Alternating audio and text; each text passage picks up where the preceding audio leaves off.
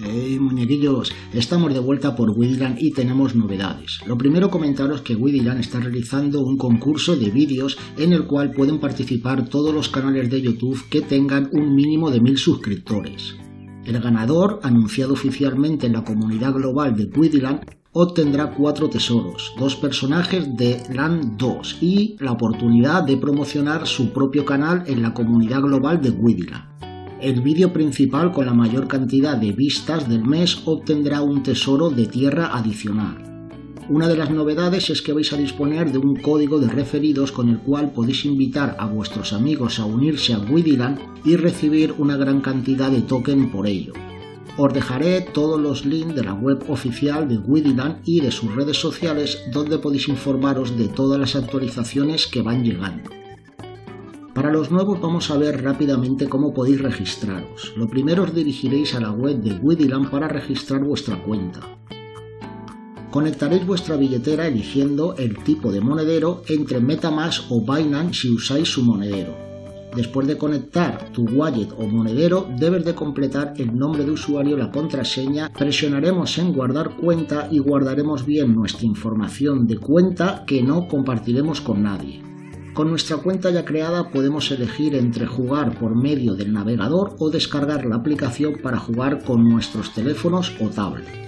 Una vez dentro del juego podéis dirigiros al engranaje situado en la parte superior izquierda que es el botón de configuración y ahí seleccionaréis si queréis activar o desactivar la música y los sonidos. Podéis elegir el idioma entre los disponibles y podéis seguir las distintas redes sociales de que Widiland dispone para estar al día de todas las noticias y novedades que el juego va incorporando podéis reportar los bugs que os encontréis y también aparece vuestro código de afiliado el cual podéis compartir con vuestros amigos y conocidos para recibir una buena cantidad de tokens. También tenéis el cajetín donde ingresar el código de vuestros amigos o conocidos. Volviendo al juego, entre las actividades que podemos realizar tenemos el cultivo. Eligiendo un granjero y el tipo de cultivo podemos sembrar para su futura recolección. También podemos criar animales mediante el criador con el que alimentaremos a los animales y así después de un cierto tiempo cosecharemos los artículos que nos proporciona, como por ejemplo la leche que nos proporcionan las vacas o los huevos que nos proporcionan las gallinas. También disponemos de un cocinero que procesa e interactúa con las distintas máquinas otorgándonos artículos como galletas, donuts, yogur y un largo etcétera. Estos tres personajes que nos ofrece el juego al ingresar no son NFTs, por lo cual no tenemos puntos de hash, que luego veremos para qué nos sirven, pero son muy trabajadores y estarán listos para comenzar sus trabajos mediante las misiones diarias que nos ofrece el Daily Quest y las cuales las podemos ver en el tablón de anuncios, recibiremos recompensas que se actualizarán todos los días. Dispondremos de una tierra de cultivo para comenzar la aventura y nuestra labor será realizar pedidos. En el tablero de nuestra tierra podemos consultar los pedidos que nos llegan de los invitados y los ciudadanos de Widira.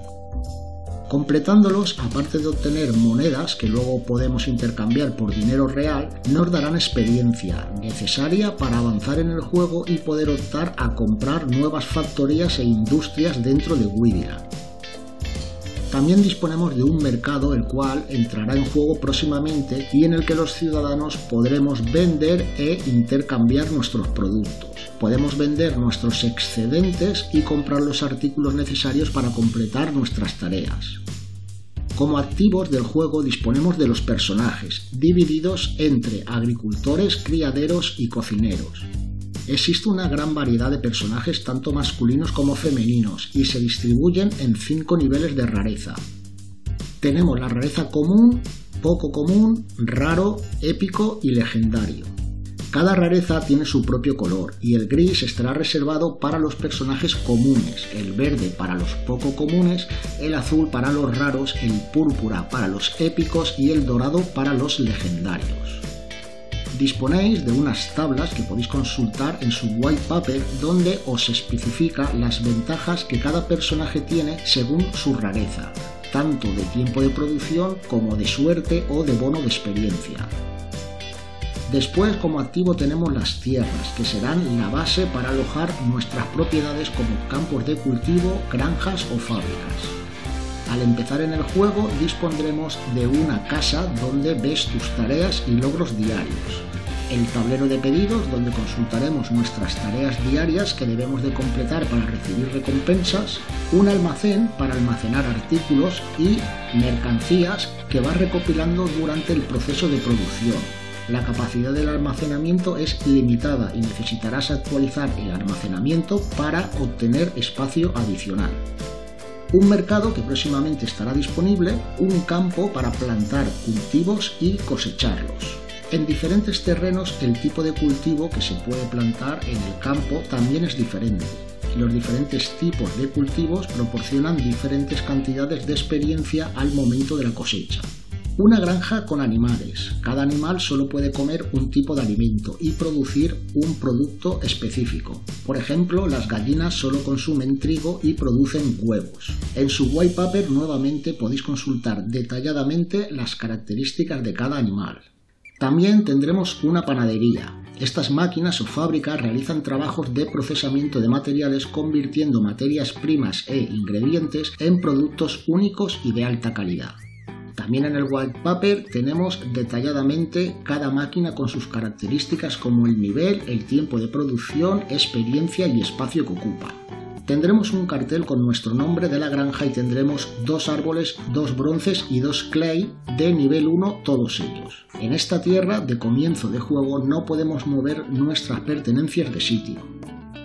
Con las monedas que vayamos ganando podemos ir ampliando nuestras pertenencias comprando más campos, fábricas, etc. Pero el tamaño de nuestra tierra es reducido y deberemos escoger bien qué ubicamos en ellas, porque enseguida se nos completará el suelo disponible sin dejar espacio para más propiedades. Ahí será el momento de obtener más tierras y las podemos comprar en el marketplace donde podemos elegir entre seis tipos diferentes de terrenos entre los cuales tenemos las tierras de cultivo, el desierto, la tierra seca, el terreno forestal, la tierra acuática y la tierra volcánica. Cada tierra tiene sus propias características y se pueden cultivar diferentes cultivos. Por ello, es conveniente tener una de cada tipo para cubrir todas las demandas de los diferentes pedidos. Las tierras de cultivo son tierras fértiles con agua subterránea fluyendo a través de ellas. Este es el lugar adecuado para cultivar trigo, maíz y caña de azúcar. Es de rareza común y es la tierra que nos ofrece el juego al comienzo del mismo.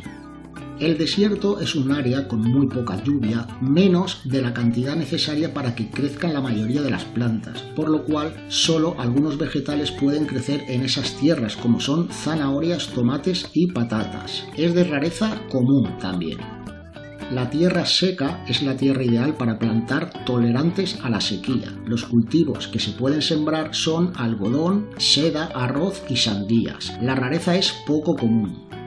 La tierra forestal tiene todas las características de una selva tropical. Con su ecosistema diverso, esta es una tierra apta para plantas y flores perennes.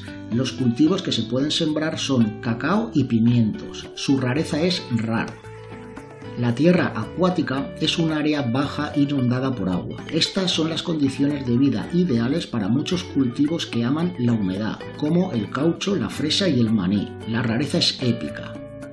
La tierra volcánica es una tierra legendaria, el lugar donde se producen cosechas preciosas y valiosas. Los cultivos que se pueden sembrar son café, rosas y té. También disponemos de los recursos. Estos elementos son explotables y estarán accesibles en la próxima versión de Widiland. Se podrán explotar, pero cuando lleguen a su máximo habrá que esperar un periodo de tiempo antes de poder seguir explotándolos. Se clasifican en recursos naturales asociados con el tipo de tierra que los contiene y recursos naturales comunes que pueden aparecer en cualquier tipo de terreno. Los recursos tienen un nivel, el nivel decide la cantidad de elementos extraídos del recurso, la energía consumida al minar y el tiempo de recuperación de ese recurso. Otra cosa importante es nuestro nivel. El nivel es relativamente significativo para la experiencia, ya que desbloquea características cada vez más interesantes en los niveles más altos de los jugadores. La experiencia es el estándar para aumentar el nivel.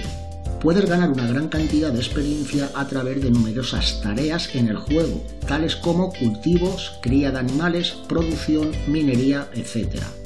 Cuando subas de nivel tendrás la oportunidad de desbloquear objetos y construcciones como cultivos, mercancías, máquinas, granjas de animales, etc.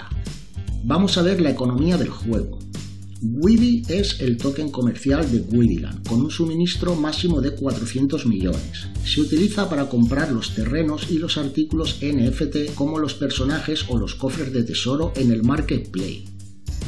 Se puede utilizar para apostarlos a cambio de intereses, utilizarlos en la reparación de naves que luego comentaremos y la agricultura de liquidez. El token WSO es la moneda nativa en Widiland, un toque secundario utilizado en el ecosistema Widiland para fines específicos. Su suministro es ilimitado y se puede ganar con las misiones diarias, pases de batalla, pase mensual, tablero de líderes y eventos. Entre sus utilidades están las tasas de convocatorias y actividades en el juego como elementos de actualización, juegos de lotería, etc. También disponemos del MWSO que con un suministro ilimitado es la moneda utilizada para las transacciones en el juego. Los jugadores pueden cambiar el WSO a MWSO siguiendo la proporción de 1 a 1 y usarlo para propósitos específicos como la compra y construcción e intercambio de artículos en el mercado del juego que próximamente implantarán. Para comprar nuestros personajes o tierras disponemos del Marketplace donde podemos elegir entre comprar cofres de tesoro, los cuales nos otorgan un personaje o una tierra al azar, o comprar directamente un personaje o una tierra que nosotros elijamos entre los disponibles en venta. Si elegimos la opción de los tesoros, el cofre de las tierras, el cual puede contener cualquier tipo de tierra y rareza, tiene unas posibilidades de obtención de un 50% de que salga común, un 20% poco común, un 15% de que salga raro, un 10% de que salga épico y un 5% de que salga legendario.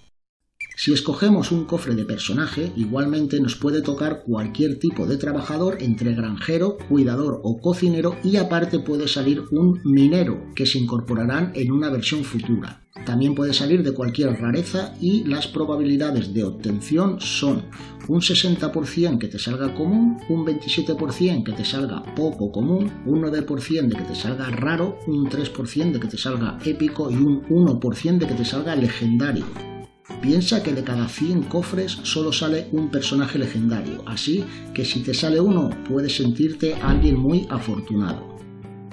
Si eliges comprar un personaje o tierra en venta por otro jugador, tendrás la ventaja de saber exactamente qué tipo de personaje vas a recibir, así como su rareza y además verás los puntos de hash que te da. Estos puntos los recibes tanto por los personajes como por las tierras y son los que cuentan para obtener diferentes ganancias en el juego que luego veremos. En el marketplace podemos filtrar los resultados por tipos, rarezas, diferentes parámetros como más recientes, más antiguos, precio más bajo o precio más alto, entre otras. Por último, podemos consultar nuestra lista y el registro de transacciones. Ahora vamos a repasar las distintas formas de obtener beneficios con nuestros tokens y nuestros NFTs.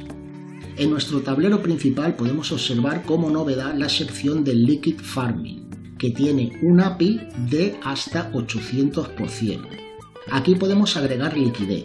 Para agregar liquidez pulsaremos en agregar liquidez y nos dirigirá a PancakeSwap. Seguidamente conectaremos nuestra billetera, introduciremos la cantidad de BNB y WIDI que queremos añadir a la pool de Widiland y luego volveremos al panel de control de Widiland. Aparece una ventana emergente que explica la información de Liquid Farming. Presionamos aceptar los términos y condiciones de Widiland. Para continuar, ingresamos la cantidad de Widi BNB que deseamos depositar o elegimos el botón de porcentaje y presionamos confirmar. Aparecerá una ventana emergente de nuestra wallet y después de revisar bien la factura presionamos confirmar. Esperamos un minuto y luego presionamos OK para completar.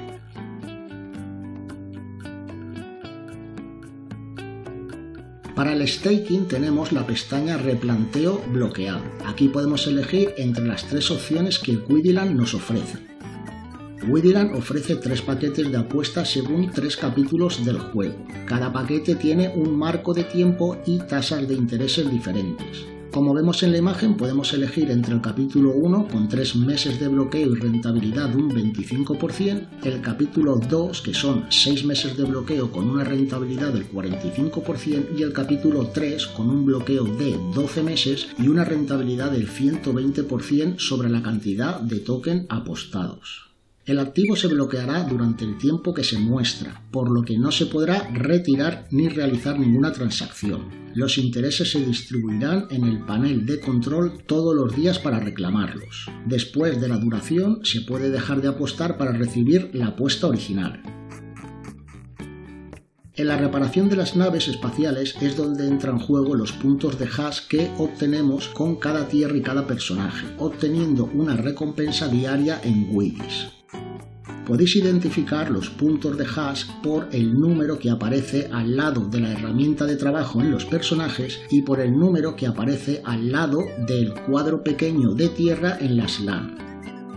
Para finalizar vamos a ver la sección de IGO, Después del cierre de la primera ronda, la segunda empieza en 18 días y podemos comprar cofres de tesoros de tierra por 8.000 y cofres de tesoros de personajes por 4.000, con la condición de haber llegado o superado el nivel 30 de juego.